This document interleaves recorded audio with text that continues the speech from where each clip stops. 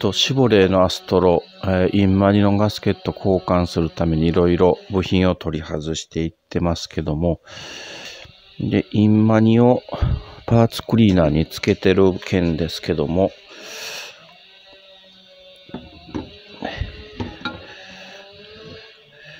まあ、だいぶ汚れは取れましたけど、もうちょっとつけとこうと思います。で、アッパー側。パー側はね、もう大丈夫だと思いますんで、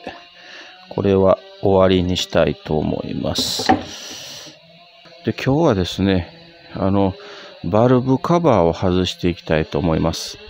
えー、サービスマニュアルではあロッカーアームカバーという風な言い方をしてますけど、まあ、タペットカバーですね。これを外していきたいと思います。えー、では、ここから、えー、バルブカバーを外していきます。えー、バルブカバーは、まあ、V 型のエンジンなので、まあ、右と左と一つずつあるんですけれども、え、それぞれ3本のボルトで止まってます。でもそのボルトもすごくもう見てすぐわかるような場所についてまして、まあ、等間隔で、まあ、真ん中と前後という感じですね。で使ってるソケットは 13mm を使ってます。で、あの、バルブカーバーからの、まあ、あの、オイル漏れ、これもありまして、シリンダーヘッドとこのカバーの隙間が、まあ、オイルが滲んでますね。で今、あの、ボルト外して、あと、バルブカバー取るだけなんですけども、一箇所ね、引っかかるところがありまして、なかなか出てこなかったと。まあ、あの、インテークにつながるホース、まあ、これがバルブカバーで L 字に曲がってついてるんですけど、そこがあの、ちょうどその上に来る配線の束に引っかかりまして、右バンクはなかなか取れなかったですね。あのホースを先に取ってやれば、まあ、あの、バルブカバー簡単に外れる、まあ、取り出せるということですけど、なかなかの外外れなかったんですね。で、後から、まあ、この動画でもありますけど、後から外しますけど、まあ、単体になっても外すのが結構大変でしたね。で、今、左バンクの3本のボルトを外していってますけども、左バンクはすごくやりやすかったですね。あの、体勢的には、あの、しんどいですけども、あの、このバルブカバー自体は、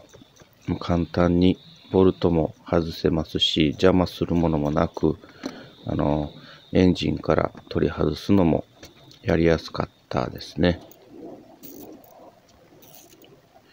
で結構長いボルトがついてまして、で抜いた時オイルがあのボルトについて抜けてきます。で、そのボルトをフロアにあの置きますとフロアが汚れますんで、まあ、受けるものとかなんか1枚敷いておいた方がいいかと思います。で、今日のこの作業から、あの、フロアに、まあ、ウエスを引いてやってるんですけど、昨日までのここの場所の作業は何も養生しないでやってたんですね。すると、フロアのカーペットが汚れてまして、あの、夜の作業ですと目立たなくてわからなかったんですけど、この昼間にやりますと、あ、汚してたなと思いましてね。やっぱりこのエンジンカバーを外しての作業は養生してやった方がいいですね。またタイヤのレバーを使ってます。簡単に外れますね。えー、バルブカバー外れまして、えー、まあ、バルブスプリングがもう見えてますけども、まあ、この車のあちこち傷んでボロボロの車ですけども、オイル交換は、ま今までのオーナーさんちゃんとしてたのかなと、ちょっと思うところが時々ありますね。で、今ちょっと画面から外れましたけども、あの、右の方に、今右下ちょっとだけ映ってますけど、配線を束ねるステーのような金属のものがあるんですけど、あ、今右下映りましたね。コメントで教えていただきまして、なんかあの、このステーが、まあ、この中の配線をなんか傷めることがあるそうです。で、あの、配線がショートしてエンジンの調子が悪くなるという事例が、あの、結構あるそうで、まあ、取り付けるときは、まあ、そういう処置をちょっとしてね、あの、つけた方がいいと教えていただきました。えバルブカバーが外れました。えボルトと2つですね、両バンクと。で、右バンクにこれついてるホースは、インテークに入ります。あ、これだ。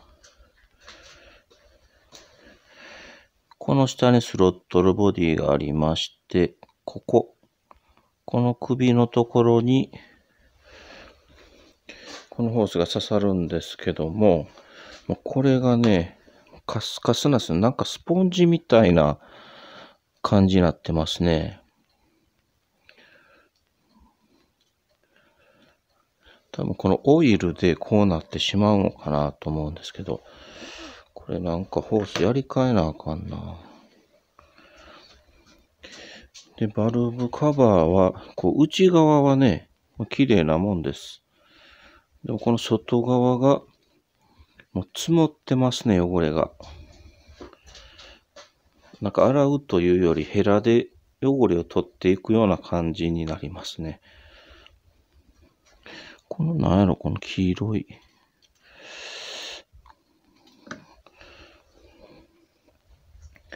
えということで、もうこれを洗っていきます。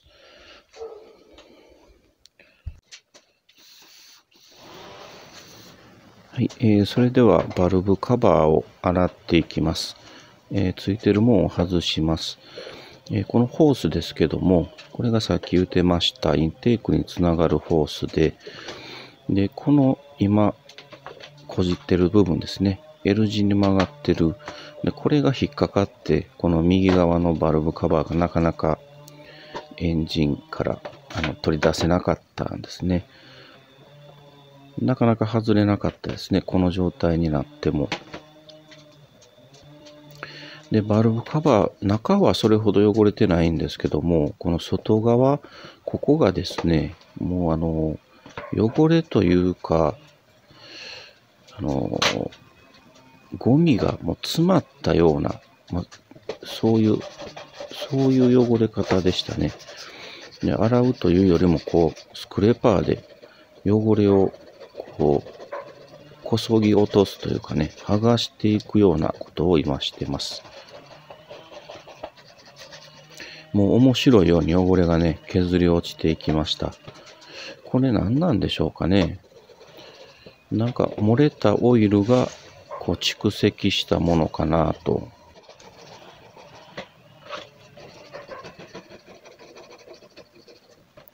で、このバルブカバーはですね、後ろ側面にあのラベルのようなものが貼ってありましたね。もう気にせず剥がすような勢いでスクレーパーを当ててますけども、まあ、気になさる方は、そのラベルをね、養生するか、まあ、あの傷つけないように作業した方がいいかと思います。あの、パーツ番号が書いたようなラベルですね。で、この車のこのバルブカバーは、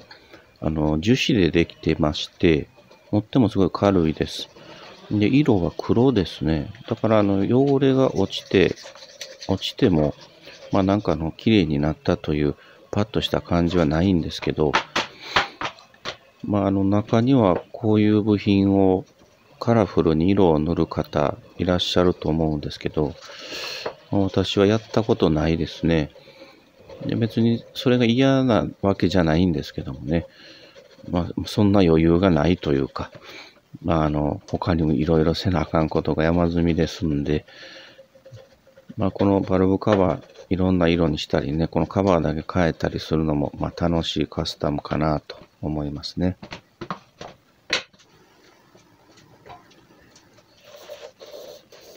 で、時々、あの、吹き付けてるスプレーはシリコンスプレーです。こういう樹脂とかゴムとかね、まあそういうものを傷めないために、なんか取り外すときは、まあ、潤滑剥離の意味で、あのスプレーを使ってます。今持ってきたのが今度はあの左側ですね。左側のバルブカバーです。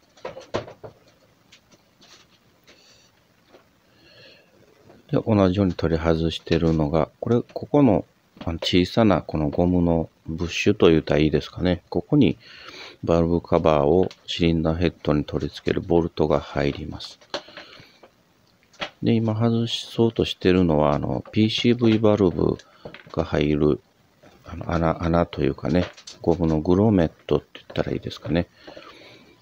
で、まあ、こういった部品から、まあ、その圧力で押し出された、まあ、オイル、まあ、ミスト状になったようなオイルとか、まあ、そういうのが、あの、エンジンを汚していくのかなと。まあ、今、どんどんこう、こそぎ落としてますけども、これも、さっきと同じように、あの、溜まったオイル、漏れたオイルがこうなっているのかなと。普通の砂ぼこりではない感じですね。ですけれども、このブッシュとかグロメット、ゴム部品を、まあ、新品のものに交換、まあ、しますけど、まあ、しても多分、このオイル漏れは止まらないと思いますね。あの、シリンダーヘッドとバルブカバーの間のオイル漏れは、まあ、あの、ガスケットを変えれば止まるかと思うんですけども、今取り外したこの小さなゴム部品は、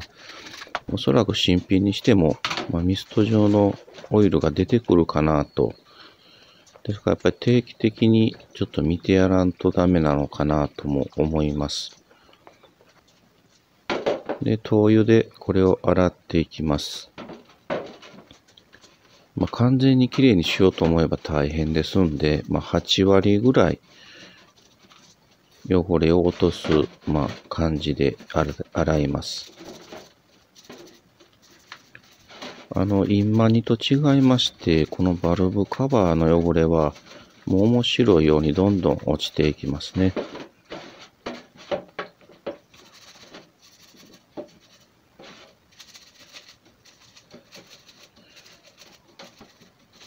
で、このバルブカバーの今洗ってるこの裏というかね、中。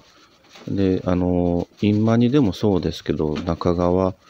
あの、オイル焼けが樹脂パーツにはどうしてもできますね。あの、茶色く変色したような汚れがつくんですね。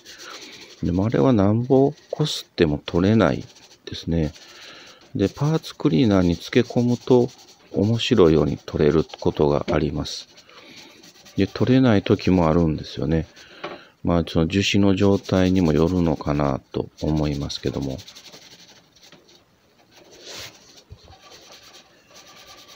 それでは、これからこういうふうにバルブカバーを洗っていく動画が続きます。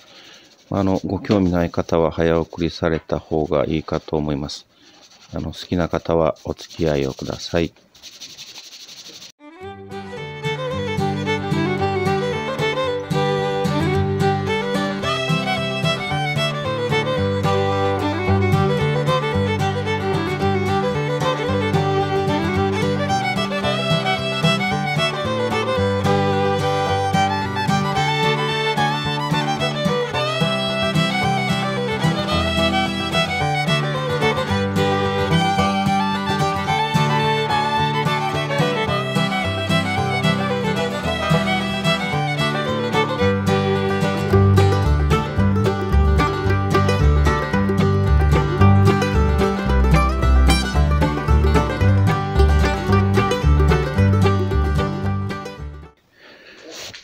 バルブカバー、えー、ざっと洗いまして、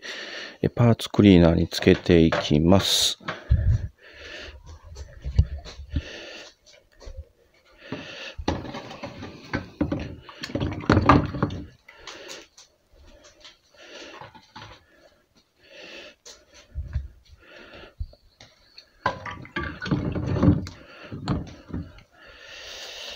これでまた一晩置きますね。で、バルブカバーが、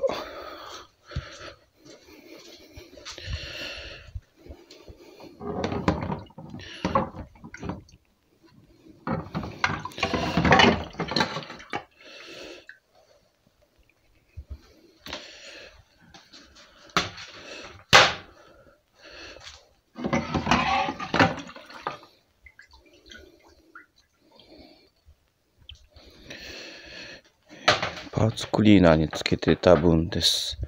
だこれをちょっと水でね、洗っていきます。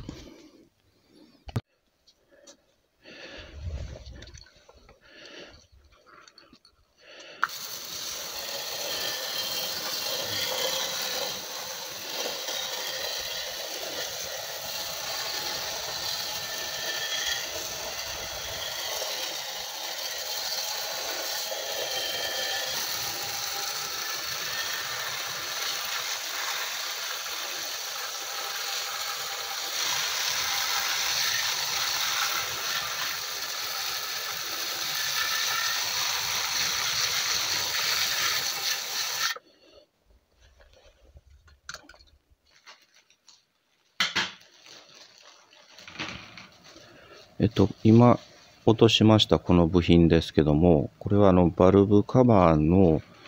えー、グロメットですね。バルブカバーを止める、えー、ボルトが刺さる部分です。で、あのシリコンスプレーを拭いておきます。えー、黒いお皿に黒いグロメットでちょっと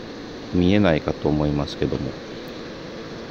で、バルブカバーの水気はあのエアブローで吹き飛ばしました。で残った分を、まあ、あのウエスで拭いてます。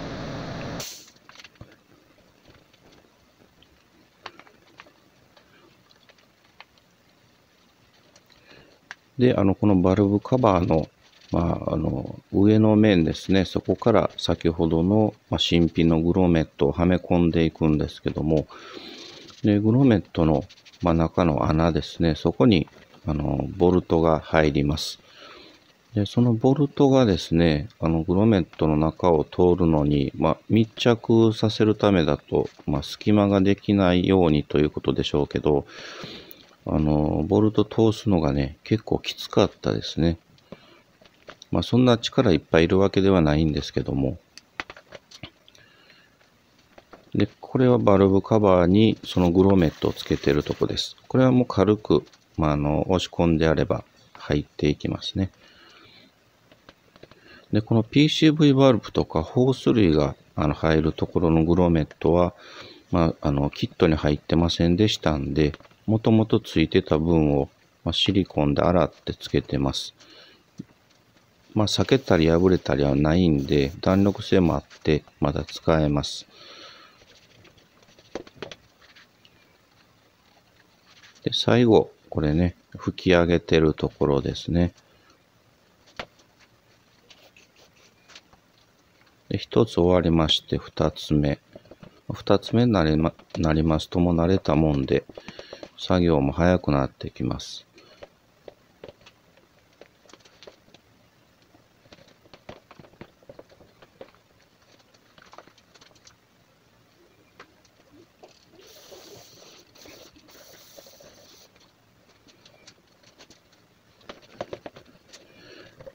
まあ吹き上げてますけど、まあ、これもすぐ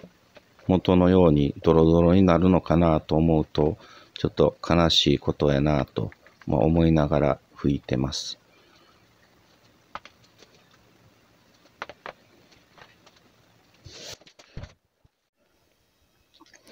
はい、えー、バルブカバー仕上がりました。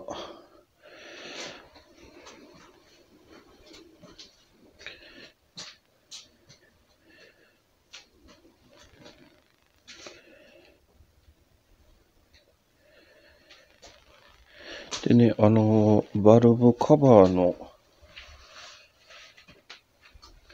ガスケットがこれで、で、一緒に、一緒にこういうのがついてたんですね。どこに使うのかちょっとわからないんですけど、ヒューエルラインのパイプがちょうどこの径なんですけど、それのことなのかな。あとセットでこのこのね、6個の小さなグロメットがついてました。今からガスケットをつけていきます。バルブカバーの裏にもうはめ込むだけなんですけども、一応裏表はありますんで、まあ、その上下だけ注意して。で、このガスケットは、あの、引っ張れば伸びるような材質ですんで、あの、隅から順番につけていくと、後の方がたるんでくるんですね。えですから四隅を先に決めましてでその間を、まあ、同じようなテンションではめていくという形になります。ちょっと今雨がね降ってましてシャッター下ろしてこれ喋ってるんですけど雨の音入ってたすいません。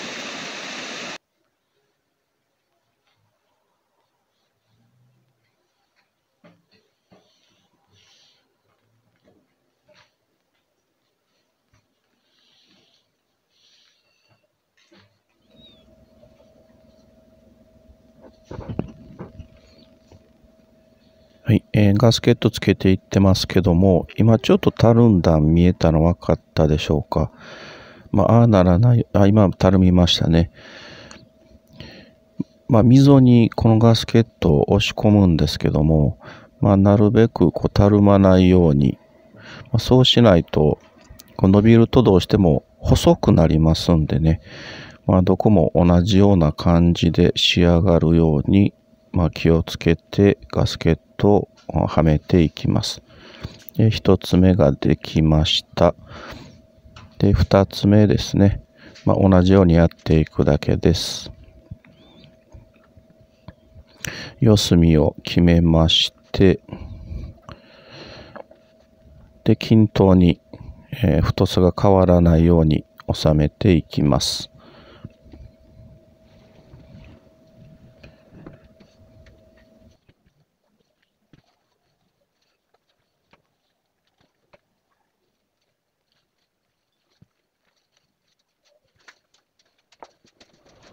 えそれではいよいよバルブカバー取り付けていきます。どうぞご覧ください。